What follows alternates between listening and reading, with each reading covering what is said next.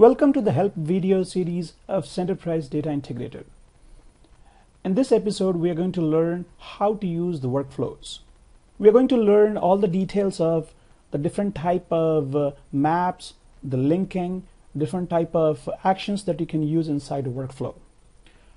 A workflow is used to orchestrate your jobs and your flows. Shared on the screen is a sample where we are running a data flow and the data flow is using source files from a directory. So for each file inside this inside the directory, we are going to run the same data flow and depending on if it runs successfully or with an error, we are going to send out an email to the owner of the job and uh, also on this step check for the errors. If there's a certain number of errors in the flow, we're going to do the same thing that is send an email to the owner or if it runs successfully then we're going to uh, go ahead and delete the source file. So this is the orchestration and we are going to arrive to the sample and uh, start from the beginning. So let's go ahead and start from the beginning. Go to the file menu, new and uh, create a new workflow. The goal of a workflow is to orchestrate your jobs, meaning you specify the steps in your flow and uh, link the flow using some links and I'm going to describe what type of links are supported by Centerprise. Before that let's have a look at the other features those are going to help you in orchestrating your flow. You can have use of sources that means you can point to any of uh, the sources such as the file sources or even uh, database table sources or ADO.NET metadata collections or file system entry sources and use that data from the source uh, that is going to help you in your orchestration. Similarly, you can use the maps and transformations and parsers and pretty much everything that is available in the toolbox here. Going back to our example that we, we want to arrive at, in this example, our first step is to uh, read files from file system. That means we want to read all the files from a directory and uh, all the subdirectories inside that directory and use those files as source inside the data flow. So in this case, let's go ahead and drag and drop our first source that is file system on entry source and that becomes our first step. Now we go to the properties of the file system and uh, point it to a directory uh, where it's going to watch for the files and where it's going to read all the files from. So I go to a file uh, directory and uh, put a filter that means it is going to pick only these type of files that is only Excel files and include all items in subdirectories. If I do that my source is ready. Now if you are using any source in a workflow it can be used in two modes. The first mode is uh, by default the singleton mode.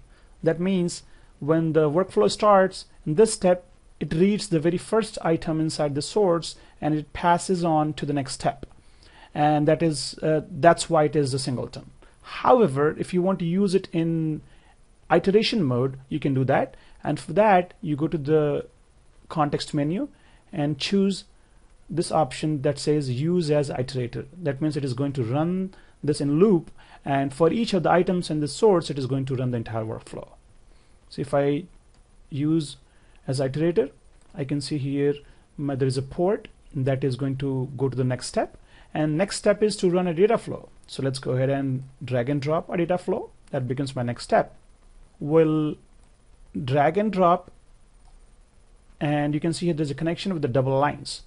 This double line means this is iteration type of step so for each item in this file systems, uh, it is going to run this entire flow. So this is the first type of link that you can do inside Centerprise. So now we have taken the file system and the next step is run data flow. So let's go ahead and go to the properties of the data flow and point it to the data flow that we want to run. We want to run this uh, data flow. So I pick this one and now I want to use the file path from the previous step inside this data flow. So that file is being used as a source inside this data flow. So since that is uh, internal to the data flow, we go to the next step and uh, it shows me all the parameters. Those are internal to this data flow. You can see here this has Excel source. So this data flow was created using this source. So now in place of leaving the source uh, as a fixed file, I will use the dollar notation that is for parameters and say file system one dot full path. We'll see in a bit why why I'm saying file system one dot full path. So I gave this parameter name and now this is being assigned to Excel source. That means when the data flow runs, it is going to resolve this parameter using this variable notation and going to find the, the value for this variable that is file system wonderful path. Now let's examine what is file system wonderful path. So as you can see here in the previous step, I have the file system one and if I expand it, you can see here it has the full path, file name and all these different properties, those are applicable to the file system. That means when this iterator is running, for each file that it finds in that iterator, it is going to give the full path and you can see here the name is file system one. So dollar file system one that full path is going to be the the path of the file that it is going to find in the in the iterator. So for each of the files it is going to supply that full path into the run data flow and the data flow is going to run using the excel file that it finds inside this iterator. So now we understand how these two steps are connected now we are running the data flow and uh, you can see here this is the next step. And the next step, we have two options. The first option is if it starts successfully or it fails to start because you can deploy it and uh, for some reason it may fail to start. So uh, let's uh, go ahead and uh, do a decision as the next step. And decision is one of the workflow items. It becomes the next step. And uh, I connect this port to the outgoing port and you can see here it is a solid line. So this is the next different type of uh, linking in Centerprise. However if it fails to start you have another option and where you can uh, uh, take this step go to the other step and uh, that step is going to be executed only when this step fails to start. And uh, let's go ahead and uh, send an email as we saw in the sample in the beginning and if it fails to start I'm going to take this and uh, go to this step. In that case I'll press alt and uh, drag and drop this port onto this. You can see here it is in different color. That means if this step uh, fails to start it goes directly to send email. And uh, you can go to the properties of the send email and, and you can specify all your details of email. So when this job is running it comes to this step. And it fails to start it is going to execute this step However, if it successfully runs, it goes to decision.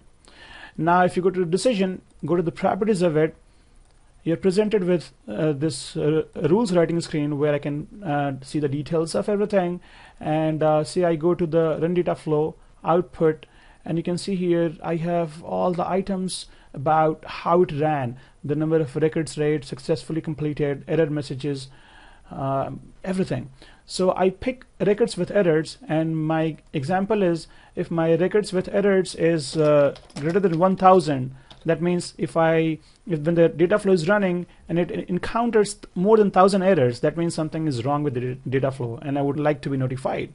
In that case I will use this rule and uh, this is my decision. And if this happens you can see here there are two nodes yes and no. If it happens I would do the same thing and I will send out an email so either it fails to start or it is running with too many errors. In both cases, I would like to send out an email. And as you can see here, this is the another type of the linking that, that is shown with the dotted lines. That is the output of a decision. And say uh, in the other case, when there are uh, less than 1,000 errors, that means it ran successfully. I would like to go to the next step. And next step is to clean the file that I just ran and maybe delete that file. And uh, for that, a file system action I will take that goes and becomes my next step. And that is connected with the no. And you can see here, this becomes my next step. So this is how we can uh, orchestrate this scenario. And that's exactly what I had in the sample. And uh, you can see here it is file system sources. It is running data flow and is ch checking errors and uh, depending on yes or no it is going to either delete the source file or sending out an email to the owner. So this is how you can use different type of linking inside the workflow. Now let's take a step back and uh, examine one more concept in, in uh, workflow and that is the concept of mapping. So if I expand this node you can see here even each of the individual attributes they have this outgoing port that means you can map them to any other item. And if I expand this I have inputs where I see uh, the job file path. So for any box there are items that can be mapped. In this case this is job file path. That means this is a path of the real data flow that I'm running here. And uh, say I wanted to even supply the job file path from outside I could have done that using any other external source and uh, by mapping this uh, outgoing port into this incoming port.